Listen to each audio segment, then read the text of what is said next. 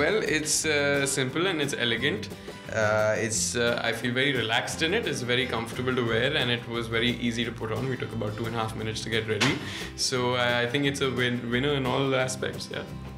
I took about two and a half hours to get ready, uh, but it's still um, it's really chic, yes, and beautiful. But it's very very comfortable, uh, more comfortable than it looks for sure. And it has feathers. and it has feathers, which he's been obsessing over.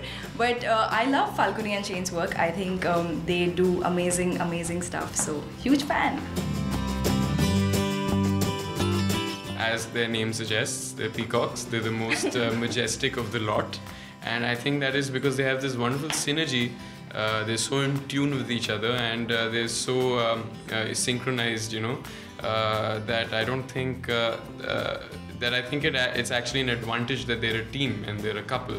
And so I think they're you know this force to reckon with in the fashion world, and it's because of their their teamwork.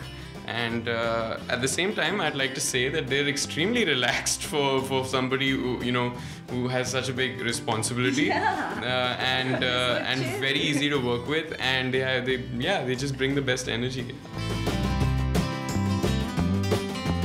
Beyond the Clouds uh, is uh, the first of its kind. It's a beautiful film. It's the first feature film directed in India by the wonderful Majid Majidi, who's a world-renowned filmmaker, uh, and uh, he's made a very authentic film to India.